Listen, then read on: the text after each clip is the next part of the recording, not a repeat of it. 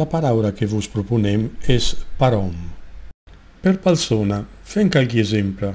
Posem 5 euros per hom per fer-li un bel regalo per a sua promoció. Dividim lo conta alla romana, fa 5 euros per hom. Sabeu que en algarès A diferència de l'italià, l'euro al plural diven euros. Així diem un euro i 5 euros. Qualquiuna d'aquestes paraules les trobem en qualque cançó popular i les empraven fins a qualque any enrere. Dieven sisè, sou, marial, rial, mig escut i escut. Avui puc arriben tornar a tren de significat, lo sisè, lo sou, lo rial.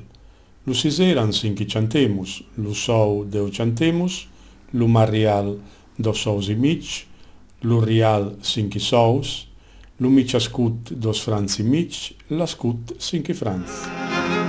i sentè un canti de sirena